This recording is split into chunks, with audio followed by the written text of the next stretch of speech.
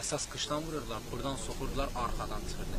Qollarını belə tuturdular, diri-diri ürəyini çıxarırdılar. Gözlərin hamısı gözümün qabağında, patronsuz, zatsız, heç nə yox idi.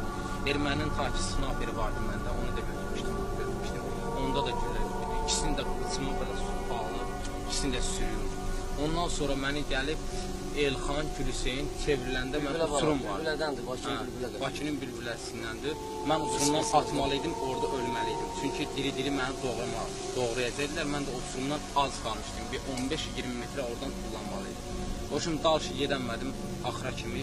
Çevrildim ki, bir yekəpər oğlan durub qalmaqda. Tolka yalvardım ki, ara öldür, ancaq diri-diri doğramadır məni. Bu arxanda duran oğlan bağışda milliyetçi Azərbaycanlı idi, tanımadım. Qan götürmüşdü hər tərəfdən. Ruhuşum gedib də az qalmışam. Bir 10 metrə getməliyim, sürünməliyim.